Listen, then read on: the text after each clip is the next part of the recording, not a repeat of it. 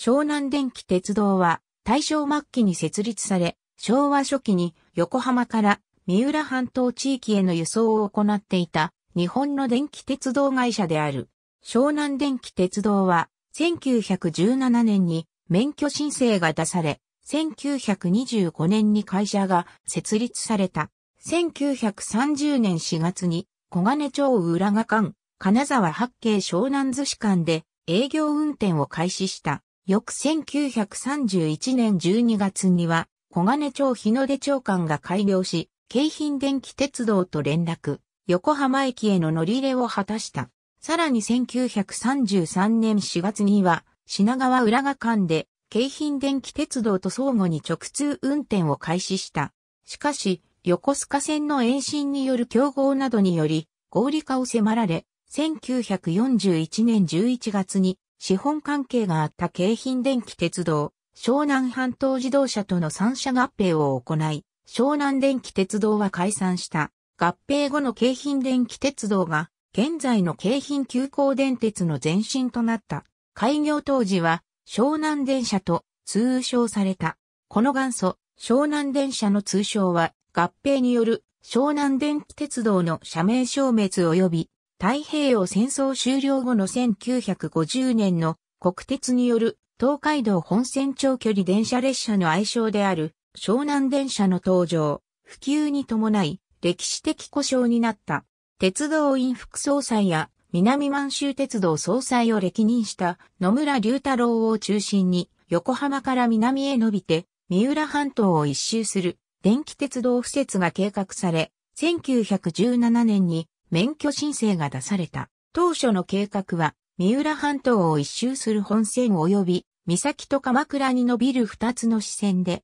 免許も取得した。三浦半島一周路線の東半分と三崎への支線の一部が、現在の本、湘南電気鉄道の湘南とは、大正時代の会社設立当時、路線予定地であった津市や葉山などが湘南と故障されていたことによるもの。1923年に免許が下りたものの、関東大震災で建設中の路線の崩壊、等被害を受け、打撃を受けた湘南電気鉄道設立準備会社は、開通前に倒産の危機に見舞われた。その際に資金援助したのが、京浜電気鉄道で出資の条件に、京浜電気鉄道と湘南電気鉄道の相互乗り入れを決め、1925年に会社設立にこぎつけ、1930年、小金町浦賀間と金沢八景湘南寿司間の一挙全線開通に至った。会社設立時には、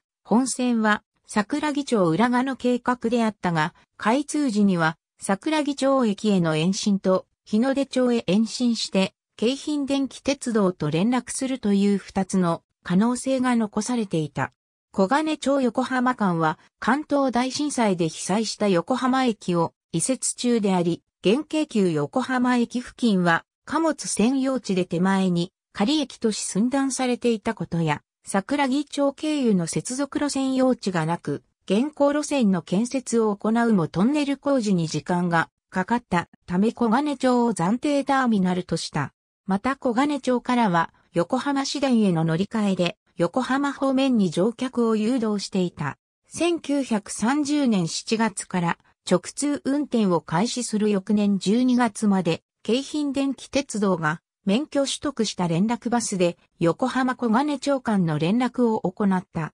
1931年の日の出町延伸後は、京浜電気鉄道と一体として運用され、現在の京浜急行電鉄の原型がここに誕生した。期間は京浜電気鉄道との直通運転のために、当初計画の3フィート6インチから変更して、標準機が採用された9月認可。京浜電気鉄道は、東京電車鉄道との相互乗り入れのために1904年に、機関を標準機から4フィート6インチに改め機しており、1925年3月からは、高輪北品川間の線路を東京市電と共用していた。しかし、地方鉄道法により、湘南電気鉄道全線と京浜電気鉄道の横浜日の出町間がこの期間を認められなかったため、京浜電気鉄道側が1933年4月の品川浦賀間直通運転に合わせて標準機に戻した。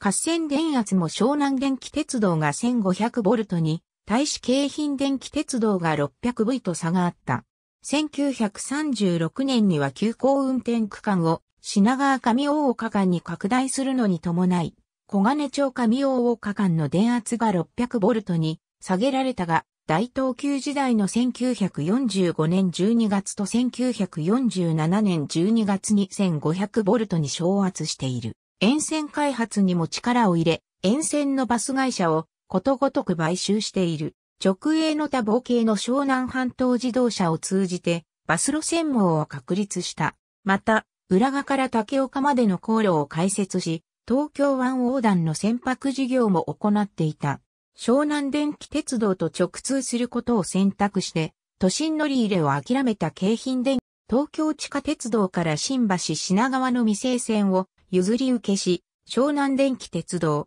京浜電気鉄道、京浜地下鉄道、東京地下鉄道の相互乗り入れによる裏が浅草の直通運転を計画した。終電装置はパンタグラフと終電靴のハイブリッド方式を予定していた。しかしながら、この合弁に先立ち、東京地下鉄道は、東京高速鉄道と相互乗り入れによる直通運転の契約を結んでいた。京浜地下鉄道と結ぶことで約束を保護にしようとした東京地下鉄道に対し、東京高速鉄道側は猛反発し、東京地下鉄道の筆頭株主となっていた京浜電気鉄道の株式を買い集めた。1939年に京浜電気鉄道、湘南電気鉄道の代表者であった望月軍四郎が持ち株を東京高速鉄道に譲渡したことで、京浜電気鉄道、湘南電気鉄道は東京高速鉄道の参加に入った。実際に京浜電気鉄道、湘南電気鉄道の経営に乗り出したのは東京高速鉄道の代表者であった後藤啓太であった。このため五島の本拠地ともいえる東京横浜電鉄が、京浜電気鉄道、湘南電気鉄道の実質的な親会社となった。1941年11月1日に、経営合理化のため湘南電気鉄道は、京浜電気鉄道に合併し、同月25日に、後藤が京浜電気鉄道の社長に就任した。本鉄道の日の出町駅付近井戸ヶ谷駅付近の敷設にあたっては、それ以前に計画され中止された鉄道省の京浜線予定線の敷地が転用されている。この予定線は桜木町駅から大岡川沿いを走り、井戸ヶ谷から現在の東戸塚方面に抜ける中距離電車が計画されていたもので、現在も桜木町駅より路地に挟まれた複線分の敷地が続き、日の出町駅付近で京浜急行電鉄の高架線が合流するのが確認できる。この予定線は1926年4月に廃止となり、湘南電気鉄道が廃線跡を譲り受けた。桜木町を経由し、横浜新駅で京浜電気鉄道との接続が計画されたが、桜木町横浜間の免許は不許可となった。小金町桜木町間は免許を受け、大株主でもあった東京横浜電鉄も湘南電気鉄道と桜木町での連絡を要望したが、建設費調達の実現性がなかったことから、日の出町駅で京浜電気鉄道と接続することとなった。後にも東京横浜電鉄は湘南電気鉄道との相互乗り入れを行おうとした。東京横浜電鉄による経営参加が始まった1939年に東京横浜電鉄は